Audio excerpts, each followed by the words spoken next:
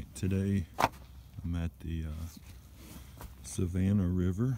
I'm to try to shoot some ducks. Um, I'm to put in, head up river um, in the kayak, solo hunting style, and um, try to try to shoot some ducks. It's midweek, uh, mid-December, and uh, I'm to show you, show you what I got set up with my, my kayaking rig. Um, first thing is I got my my nav lights. Um,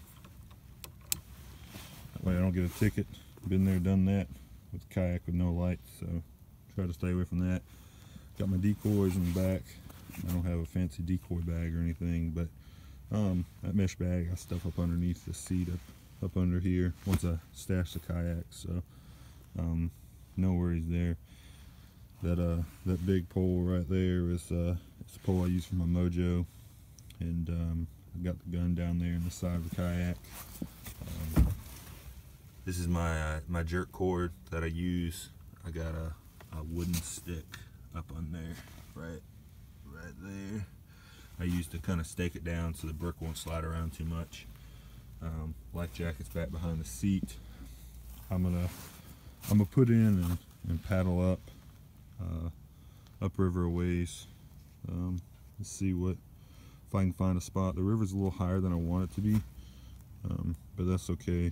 We'll make it work. It's uh, it's like low 40s, like 40, 41 degrees.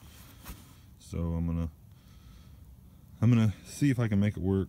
You know, public water, everything. We're gonna no guarantees, just like any other kind of hunt. But maybe I can knock a, a bird or two down have a good time doing it. I'll try to get some video when I'm I'm up there set up and uh, hopefully shooting some birds.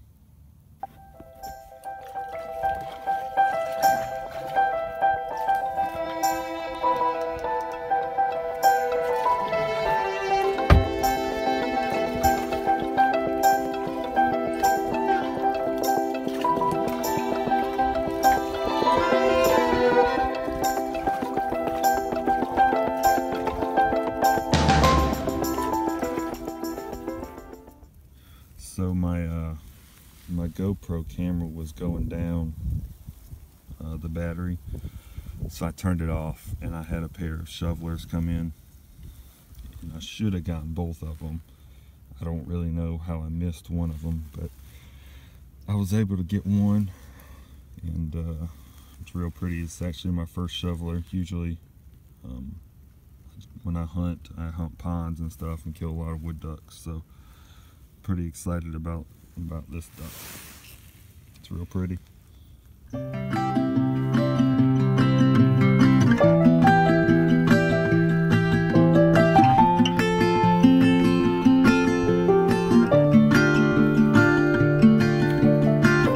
Snowflakes fall on the evergreens and they cover all the streets.